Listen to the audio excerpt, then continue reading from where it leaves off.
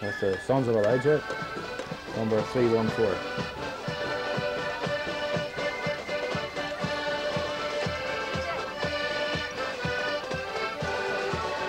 Toy mechanic organ.